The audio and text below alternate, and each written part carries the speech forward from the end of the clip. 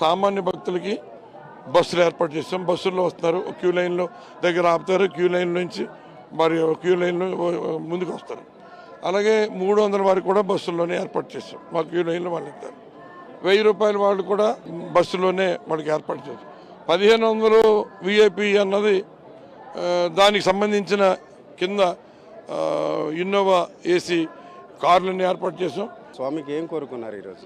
ముఖ్యమంత్రి గారి నాయకత్వం వారి నాయకత్వం ఇంకా మరింత బలోపేతం కావాలని ఈ రాష్ట్రం సర్వతోముఖి సాధించి ప్రకృతి ముఖ్యంగా ఈ వేసవి అనంతరం మన తొలకరి వర్షాలు సమృద్ధిగా కురిసి పంటలు బాగా పండాలని ఈ రాష్ట్రం శోభిల్లమానంగా సర్వతోముఖ అభివృద్ధి దిశగా మరి అన్ని రకాలుగా కూడా ముందు ప్రథమ స్థానంలో ఉండేలాగా చూడమని ఆ స్వామిని కోరుకోవడం జరిగింది. కొండపైకి ఎలాంటి ట్రాఫిక్ జామ్ రాకుండా ప్రత్యేకంగా అందరి అందరు భక్తులకు కూడా బస్సులు ఏర్పాటు చేశారు. అలాగే విఐపీలకు కూడా ప్రత్యేకంగా కారుల సదుపాయం కూడా కల్పించారు. ఈ దశలో విఐపీలు అలాగే సామాన్య భక్తులకు కూడా వేర్వేరు స్లాట్లు ఇవ్వడం వల్ల ఏ రకంగా కూడా భక్తులకు స్వామి దర్శనంకి సంబంధించి ఇబ్బంది లేకుండా చేశామని చెప్పడమే కాకుండా మరోవైపు సీఎం జగన్మోహన్ రెడ్డితో పాటు రాష్ట్రం ఆయన నాయకత్వంలో సుభిక్షంగా ఉండాలని సింహాద్రి అప్పనన్ను మొక్కుకున్నట్టు కూడా దేవాదాయ శాఖ మంత్రి కొట్టి సత్యనారాయణ మనకు చెప్తున్నారు.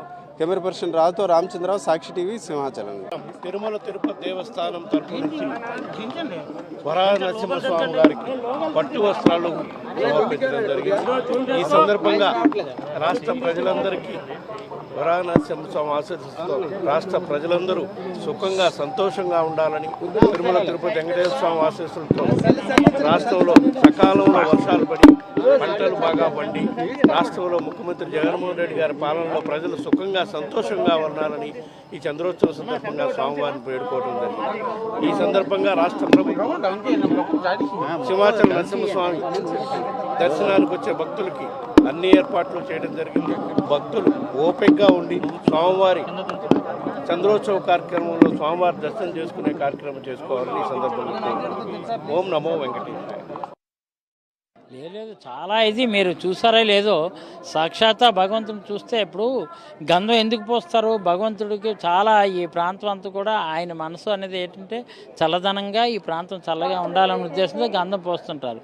ఇప్పుడు ఏంటంటే సాక్షాత్ ఉన్నటువంటి ప్రతిరూపం ఆ రూపంగా చూసి సింహాద్రపం రూపం చూస్తే చెమట ఇప్పటికి కూడా ఆ బాడీలోంచి వస్తున్నట్టు కనిపిస్తుంటుంది. మీరు కూడా చూడొచ్చు. ప్రత్యక్షంగా అందరూ కూడా చూస్తారు. అంటే మొహం మొహంలో కానీ లేదంటే బాడీలో కానీ చెమట చిందిస్తుంటుంది. ఇది అదే నిదర్శనం.